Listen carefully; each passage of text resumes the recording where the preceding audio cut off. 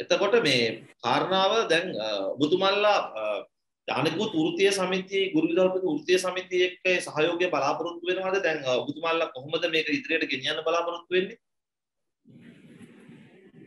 දැන් අපි මේ අරගලය දැන් ආණ්ඩුව මොන විදිහින් හරි පාසල් ආරම්භ කරලා තියෙනවා. 25 21 සිට පාසල් ආරම්භ කරලා තියෙනවා. අපිට ගැටලුව තියෙන්නේ මේ රටේ පුරවැසියා සමග හෝ මේ රටේ දරුවන් සමග නෙවෙයි. මේ රටේ දරුවන් ඉගෙන ගන්න ඕන මේ රටේ දරුවන්ගේ අනාගතය සර්ව සර්ව ප්‍රකාරයෙන් සාර්ථක වනවා දැකීම ගුරු විදුහල්පතිවරුන්ගේ ඒකායන බලාපොරොත්තු. ඔබ දන්නවා ඔබ ගුරුවරුන්ගෙන් ඇසුර ලැබපු ගුරුවරුන්ගෙන් ගුරුහරුකම් ලබාගෙන සමාජයේ ඉහළ ස්පර්ශ ඉහළ තරයක් ස්පර්ශ කරන පුරවැසියෙක් වශයෙන් ඔබ දන්නවා ගුරුවරයාගේ කාර්යභාරය. ගුරුවරයා හැමදාම දරුවත් එක්ක කටයුතු කරන්න කැමැත්තෙන් ඉන්න දරුවාගේ අනාගතය ගැන සීන දකින්න පිරිසක් ගුරුවරු කියලා. හැබැයි මේ අරගලයත් මේ දරුවන් සඳහාමයි අනාගතයේදී මේ ශේෂ්ත්‍රය දැන් දෙමාපියුණු සමහරලාට හිතනවා මේ වැටුප නිසා ගුරුවරු මෙච්චර මේ වැටුපට දඟලනවා මේ වැටුප ඉල්ලලා කෑ ගහනවා දරුවෝ ගැන හිතන්නේ නැද්ද කියලා සමහර දෙමාපියොත් සමහර දෙමාපියෝ චෝදනා මුඛයෙන් කතා කරනවා වෙන්න පුළුවන්. හැබැයි ඒ දෙමාපියන්ට මම කියන්නේ මේ රටේ උපාධිධාරී ගුරුවරයෙක්ගේ වැටුප ගැන කිව්වොත් රුපියල් 32000ක වැටුපක්. එතකොට අද පද්ධතියේ තියෙන ප්‍රධාන ගැටලුව තමයි විද්‍යාවේදී උපාධිධාරිය. විද්‍යාව සහ ගණිතය උගන්වන. ඒ වගේම කළමනාකරණ වේදී උපාධිධාරිය. ඒ වගේම පරිගණක විද්‍යාව පිළිබඳ උපාධිධාරිය. මේ ශාස්ත්‍රයට එන්නේ නැහැ. ඒ අයට ඊට වඩා ඉහළ වැටුප් සහිත ඉහළ වරප්‍රසාද සහිත ඕනෑතරම් සේවාවන් රාජ්‍ය සේවයේත් පෞද්ගලිකාංශයේත් ඕනෑතරම් තියෙනවා.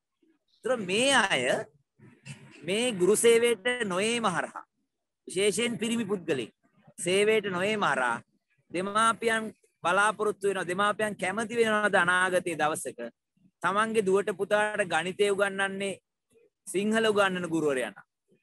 විද්‍යාව උගන්වන්නේ සෞඛ්‍ය උගන්වන ගුරුවරයා නම්. හරි විෂය ප්‍රාමාණික දැනුමක් අවබෝධයක් ඒ දරුවට ලැබෙනවා. එහෙම ලැබෙන්නේ නැහැ. අපේ අපි ගැටලුව එන්නේ ඒක.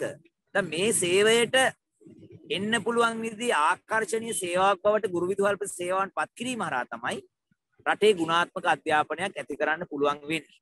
එහෙම නොවුනොත් තව අවුරුදු 10ක් යන්න කලින් මේ රටේ අධ්‍යාපන පද්ධතිය බරපතල කඩා වැටීමකට අනිවාර්යෙන් පත් වෙනවා ડોක්ටර්. හොඳට මතක තියාගන්න මෙන්න ගාලු මුදුන ඉඳලා කිව්වේ කියලා.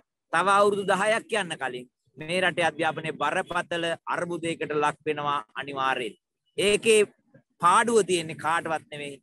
මේ රටේ කන්නංගර මැතිතුමා 43 හඳුන්වා දීපු නිදහස් අධ්‍යාපනයෙන් ප්‍රතිලාභ ලබන ලබපු මේ රටේ අහිංසක දුප්පත් දෙමාපියන්ගේ දරුවන්. ඒ වගේම ඇති හැකි දෙමාපියෝ පෞද්ගලික අංශයේ ඉන්ටර්නැෂනල් හෝ ඉන්ටර්නැෂනල් පාසල් එහෙම නැත්නම් ඉන්ටර්නැෂනල් විශ්වවිද්‍යාල යුනිවර්සිටි වලට දාලා තමන්ගේ දරුවන්ට අධ්‍යාපනය ලබා දෙයි. මේ රටේ නිදහස් අධ්‍යාපනයේ ප්‍රතිලාභ ලබන සුවහසක් දුගී දුප්පත් දෙමාපියන්ගේ දරුවන්ටයි මේකේ පාඩුව වෙන්නේ. අවසානයේ ගමන් කරන්න උත්සාහ කරයි අවසානයේදී මේ රටේ අධ්‍යාපනයේ පෞද්ගලීකරණයට.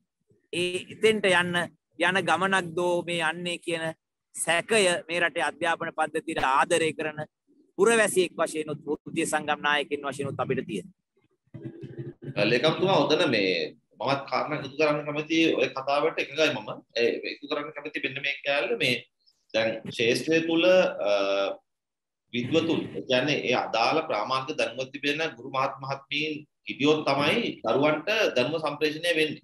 අර කිව්වත් වගේ මේ දක්ෂයෝ ටික එන්න නම් ඒ මිනිස්සුන්ට ජීවත් වෙන්න මේ ධනේශ්වර ක්‍රමය තුල ජීවත් වෙන්න පුළුවන් වැටුපක් ලැබෙන්නේ නැහැ. ඒකනේ මෙතන මූලික තර්කේ. නැත්තම් මිනිස්සු එන්නේ නැහැ. එන්නතෝ වෙනත් රැකියාවල් වලට යනවා.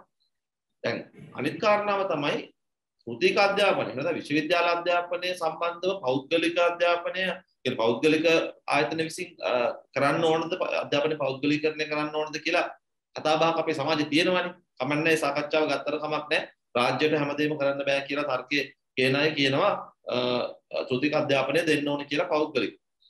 නමුත් පාසල් අධ්‍යාපනය කියන එක දෙන්න බෑ අපේ රටේ මේ පෞද්ගලික සේවය අංශය. කවදා? ඒ කියන්නේ හැම ළමයෙක්ම ඉස්කෝලේ යන්න ඕන අපි හදන් තියෙන එකක් තියෙනවානේ. ඉන්දියාවේ නැති, බංග්ලාදේශේ නැති ප්‍රතිපත්තිය සම්ප්‍රදායක් අපේ රටේ තිබෙනවා දරුවෝ පාසල් යනවා අවුරුදු 6ක. පාසල් යන්නේ නැති දරුවෙක් බොහොම අඩුයි හොයාගන්න. මම හිතන්නේ නැති තරම්. මේ සියලු දෙනාටම ප්‍රාථමික ද්විතීක අධ්‍යාපනය දෙන්න ඕන කියන එක තමයි යුනෙස්කෝ එකේ තියෙන්නේ. එතකොට සිතාරි සංවිධානයේ තියෙන කියන්නේ ලෝක මට්ටමේ ඒක ප්‍රමිතියක්. ඉතින් ඒක අත්පත් කරගත්ත රටවල් විශාල සංඛ්‍යාවක් ලෝකේ ඉන්න. අපි මොන මොන අඩුපාඩුකම් මැද වුණත් අපි අරුව පාසල් යනවා අවුරුදු 5 වෙනකොට. දැන් අවදාවත් පෞද්ගලික අංශය විසින් මේ පෞද්ගලික පාසල් හරහා උගන්වන්න ගත්තා කියලා මේ ප්‍රශ්නේ විසඳෙන්නේ නැහැ මේ රාජ්‍ය සේවයෙන් පෞද්ගලික සේවයට ගියා කියලා. දැන් මොකද පෞද්ගලික පාසල් වල ගුරුවරු මහත් මහත්මීන්ට ලොකු වැටුපක් ලැබෙන්නේ නැහැ මම දන්නවා. ඒ කියන්නේ සමහර ලාවට ඒක රාජ්‍ය සේවය වැටුපට බොහොම ළඟින් යන්නේ. මොකද ඒ ඒ කියන්නේ ඊට පස්සේ වෙන්නේ මොකද මේ ප්‍රශ්නේ මෙතෙන්ටත් බලපාන. පෞද්ගලික අංශයට ගියත් බලපාන. ඒ නිසා දැන් පාලකයෝ හිතනවා නම් දැන් මේ මේ කඩා වැටීම කවදා හරි සමාජයේ විසින් මේ ප්‍රාථමික දිදික අධ්‍යාපනය පෞද්ගලිකව කරගනී ඇතියක් මිනිස්සු කියලා දැන් උදාල තිබුණා අපේ දරුවන්ට අපිට උගන්වන්න බැහැනේ. ඒතකොට උගන්වන්න ඕන ගුරුවරයා.